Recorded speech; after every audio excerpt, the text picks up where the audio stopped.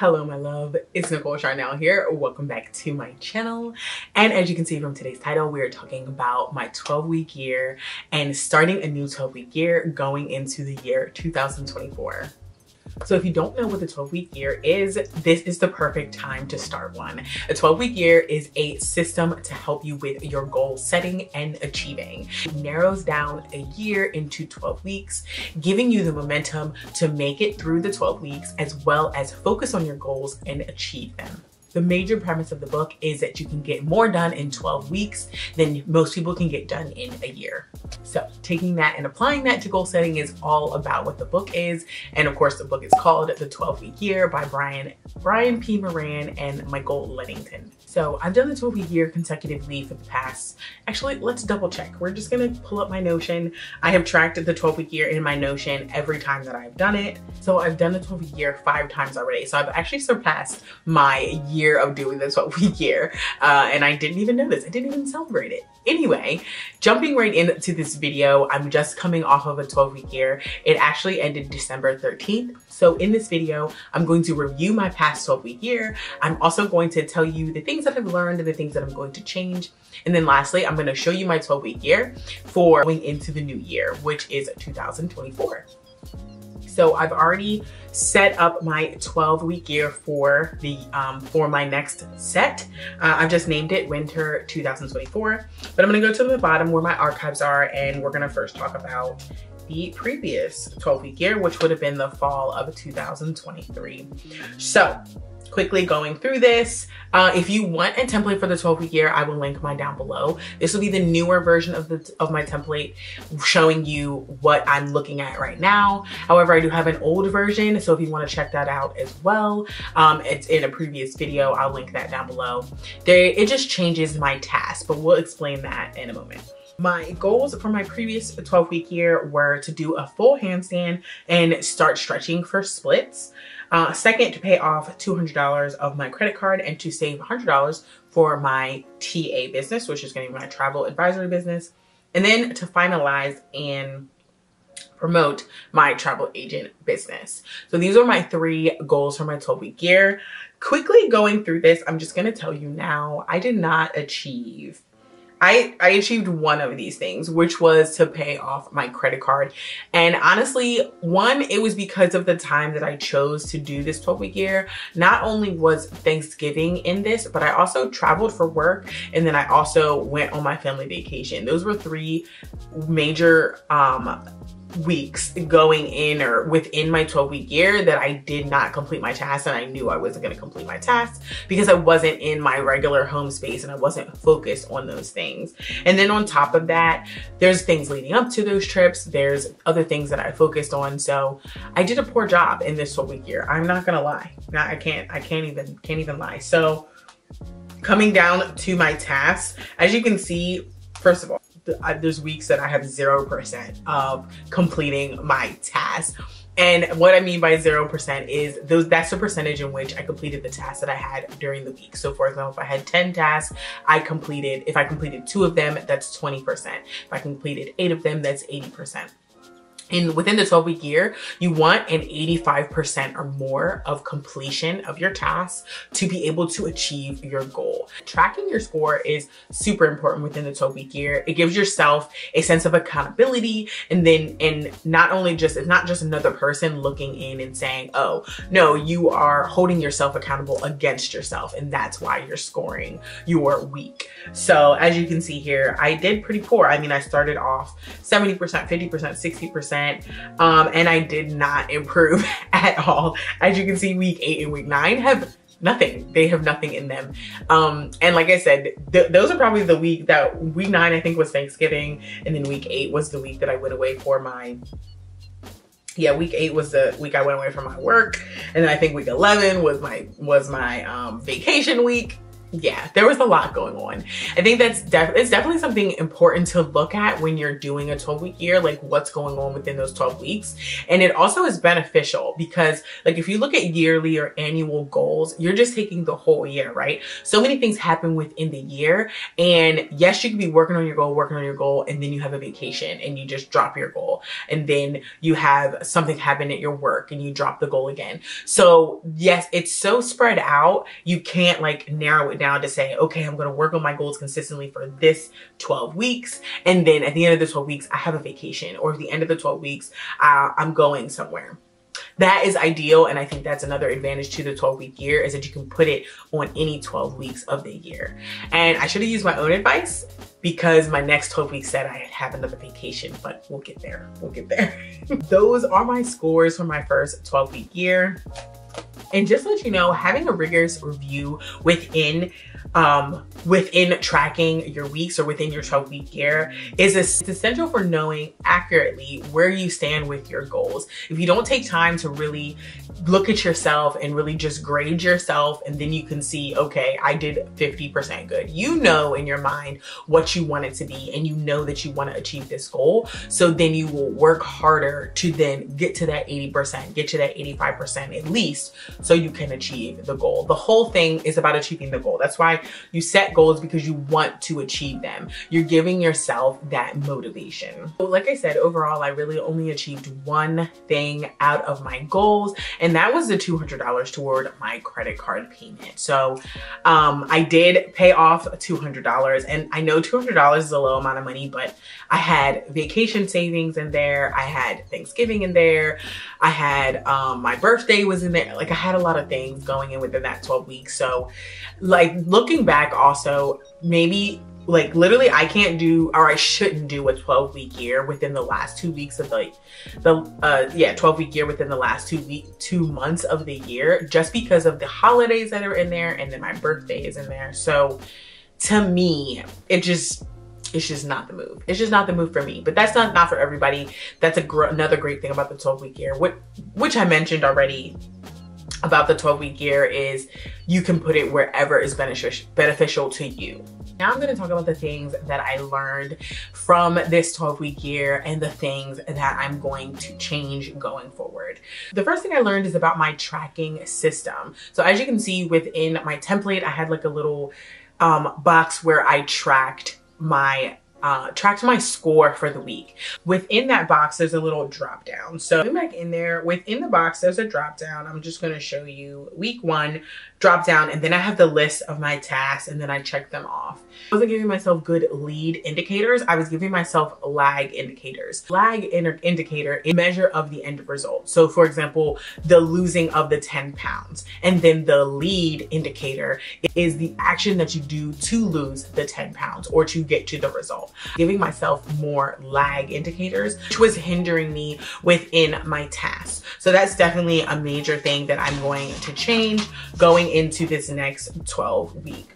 Also, my template with that, um, I adjusted it very slightly and of how I did, uh, I, I adjusted I adjusted my template of how I'm tracking as well, which is this that you're seeing now, the way I line up my tasks and how they're laid out. This is much better than what I had before, which was like an actual table where I was going in and like doing the little categories it just wasn't beneficial for how I do my tasks. Like I'm, I'm a very checkbox type of person. Like if I have a task, I want the checkbox checkbox there. I want to be able to check off the check and then just go with it. With a table, it wasn't giving me that. So that's why I changed to this table format.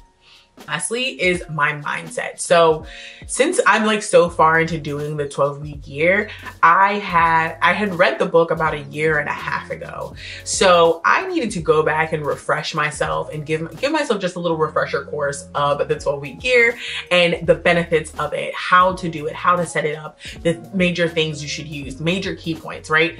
Because when I and also when I did that, I noticed why I had holes in my current system. I wasn't, I wasn't using my tasks that I set up with my time blocking system. They have to go together. Um, one major part of the 12 week year is to have three specific types of blocks within your schedule or time blocks. You want a strategy block, you want a buffer block, and then you want a breakout block. The strategy block is at least three hours of time where you just focus on the task at hand. Three hours, no distractions, or mentally, you got to minimize the distractions, right? You put your phone on do not disturb, put, put your phone away, you know, three hours of just you focusing on the task. Your buffer, my, your buffer block is about an hour, maybe two hours, mostly just an hour of when you address the interruptions that may have came up within your strategy block. So say you're working, someone gives you a call, asks you for something. If you need to pick up the, the call, okay, cool. But you need to tell that person, hey, let me get to that at this time after your strategic block is complete.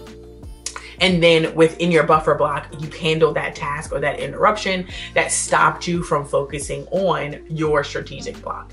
And then last is your breakout block. This can be three hours as well, like or more, but you don't want multiple breakout blocks within your 12 week year. Remember your 12 week years, you're taking your whole year and you're breaking and smushing it down into 12 weeks. That means you have to be go, go, go for those 12 weeks. You have to be focused on your tasks. You can't have too many breakout blocks because a breakout block is when you just chill, you relax. You're gonna do the thing that gets you um, in chill mode. So for me, it's reading. I'm gonna pick up my novel during my breakout time. I'm going to go out and go out to dinner during my breakout time. You just can't have too many of them because it's gonna it's gonna hinder you from getting towards your goal. So that's something major that I wasn't, I didn't realize that I wasn't doing it anymore. Like I, I have a time blocking system. I have it on my calendar. I, I schedule my time blocks, but it wasn't until I refreshed myself with the book, realized that I wasn't connecting my time blocks to my 12 week year tasks and then going forward with them. They were just two separate things. Okay, so those are the things that I've learned. So now we're going to talk about my next 12 week year and what, um, what I'm gonna do, my goals and all that. One of the major things about the 12 week year is periodization. And that is just focusing on one goal for a period of time. This is what, what this is one of the key things what makes the 12 week year so beneficial and makes it work. You're not focusing on 12 months worth of goals, you're focusing on 12 weeks worth of goals. So that may causes you to one, you have to narrow down your goal to something feasible that you can complete within the 12 weeks, 12 weeks as long as you hustle, as long as you focus, right? And um, something also that you can measure within those 12 weeks. And also you just wanna remember to plan out your time accordingly and to plan for your plan for your distractions. And this is once again when I talked about the blocks, the buffer block and the breakout block are just as important as the, the strategic block. So for your time for working is just as important as your chill time. Something to remember, something to carry on throughout the 12 weeks. So let's jump into what my 12 week year goals are and how I'm going to achieve my goals. So we are in my 12 week year for winter 2024. At the top, you can see my dates, which are December 26th to March 18th. Yes, I am starting before the beginning of the year. My major reason is I want to get out of the habit of annualized goals, which are having a goal for the whole year and also trying to say, oh, this is quarter one, quarter two, quarter three, quarter four type of thinking. Remember, this is all about changing your mindset on your goals. So this is something that I'm using. This is something that's going to help me change my mindset on my goals. Right here from vision to reality. And then I have something called WAM meetings. Now, WAM meetings are something, a tool to help you within your 12 week year. And that are, those are weekly accountability meetings. The major thing about this is you need someone else to talk to while you're doing this goal setting. Now, they don't have to be doing a 12 week year with you. My person, uh, my WAM uh, my WAM partner is someone who doesn't do the 12 week year with me. Um, and we just talk about our goals and the things that we're gonna focus on and stuff like that.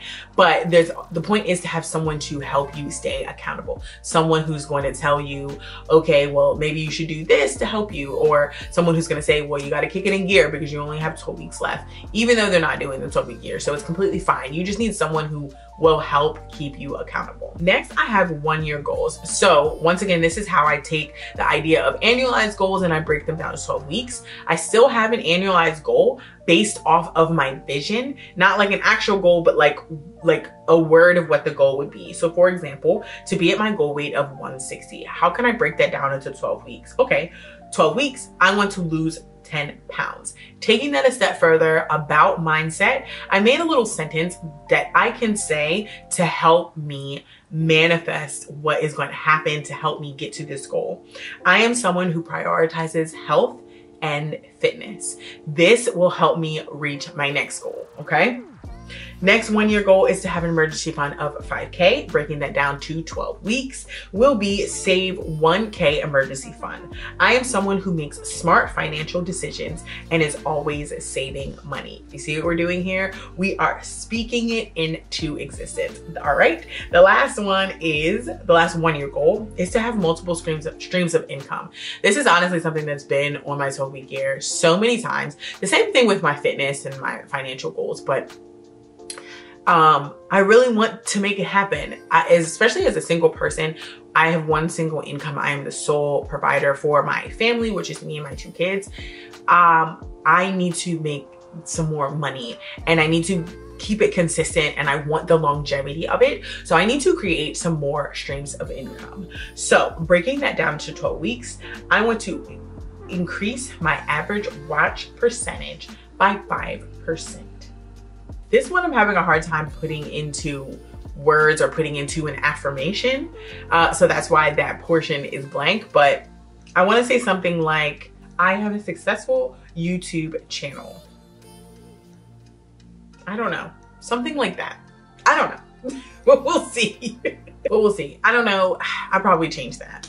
I also have another idea for my second stream of income but I'm also having, I'm having a hard time putting it into a 12 week goal. Like um, I want to start a travel agent business and I could just use that, but like to start the business, it's as simple as, or I guess as complex as um, purchasing my like travel agent license and then like starting up a social media and then start promoting and stuff like that. And I'm just not sure if I want to make it my 12 week year goal. So that is a stream of income that I am going to get started in. But first I want to focus on this. So that is going to be my last 12 week year goal. And this is something else that I struggle with. I tend to change it and like think of something else and like in the middle of my 12 week year. And then I'm just like, girl, you're never going to reach your goals if you just don't stay focused to the thing that you're trying to work on. Come on, girl, get it together. So moving on. So then I break my goals down one by one. So first goal is fitness. So, um, and my first strategy within my goal is I want to do at least three workouts a week. Um, I want to stick to an eating plan. So whatever it is going to be, I need to stick to it. And then I want one day of stretching. Okay. So goal number two is a financial goal. So I want to do a weekly and a monthly budget. And once again, these are the strategies for me to achieve the goal, not the task. Um, I do a weekly and a monthly budget, get cash every week. I found that for me, it's more beneficial to have cash. I stick to my budget more. And this will also help with another strategy I have, uh, which is kind of like subconscious or yeah, subconscious saving. Um, and the next strategy is to save $80 per check for my emergency fund. Now this, ooh, this is gonna be a lot, but I know I have to push myself. Like save a thousand dollars within 12 weeks if I save at least this amount. And then the last one is to save a dollar, a dollar in uh, in jar consistently. That's not worded correctly. What it is, is I have a dollar savings jar. So this, um, so I'm getting cash every week. So every time I have dollar bills, I'm going to put them in the saving bar jar instead of spending them. So at the end of the night, I come home and I empty my wallet of the dollar bills and then I move on with my money. So I get a certain amount of cash every week and that is going to help me subconsciously save money because I'm taking all the dollars out and putting them in a jar kind of like cash stuffing at like in the most loose term. So goal number three is a business goal or a side hustle goal. So um, this is when I was yeah, this is when I was trying to focus on my travel agent. So, uh, yeah, my travel agent goals. So what I'm to do is I'm going to delete these first two and I'm to replace them with more uh, YouTube focused goals. On to goal number three. So the first one we have is analyze my YouTube analytics. So taking time um, each week, maybe multiple times a week. I'm not sure of the duration yet. I know I need to do it at least weekly. So let's do that at least weekly. Analyze um, my YouTube analytics. Okay. The next one, next strategy is to research the best ways to increase increase watch time. So that will include watching someone else's video and increasing watch time, maybe reading a blog or listening to a podcast about increasing YouTube watch time, and then uh, have YouTube planning sessions for content weekly. This is just a planning session with me personally. Like I just sit down and I want to plan my videos. I try to do it for the whole month. Sometimes I struggle with that. So I decided to make it weekly. So it's something that I keep my hands on so I can build the habit. Lastly is I want to add bookish content to my channel. So if you don't know, if you haven't been watching my channel lately, I've been watching, I've been talking more about books and reading and amping up my reading um, as self-care. So I've just been doing more reading overall and I've just been loving also the, like the videos of people talking about the books that they're reading, talking about the books they're going to read, sharing everything like that. Like I've just been loving that. So I want to add it to my channel and I want it to make sense. So I think just taking the time to brainstorm it and then adding it and just going ahead and adding it in. At first I was like, I'm not changing my whole channel. I'm not trying to niche down um, because planning and productivity is currently my niche. Like that's what I've been focusing on, planning and being productive in my life.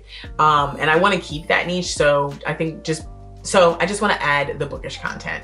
And um, I think that'll also help with my with my watch time and getting it to continue to go higher. So those are my goals for my 12 week year. And then at the bottom here will just be the section where I add in my weekly tasks based off of my strategies. So this was another mindset shift that I needed to have was that my monthly or my goal strategies are not my weekly tasks. I need to once again take that strategy and create a task from it. So one of the strategies are to do research on how to increase my watch time. So the task will be watch one video this week about watch time something like that, like an, a tangible task. Remember, lead indicators versus lag indicators. Focusing more on the lead indicators. These are the things that make the needle move. These are the things that help you achieve the goal. And of course, time blocking will be added in to my schedule and all of that. But I'm gonna be doing a plan with me video to show you how I'm going to be time blocking, not just digitally, but I'm also going to be incorporating paper back into my planning sessions.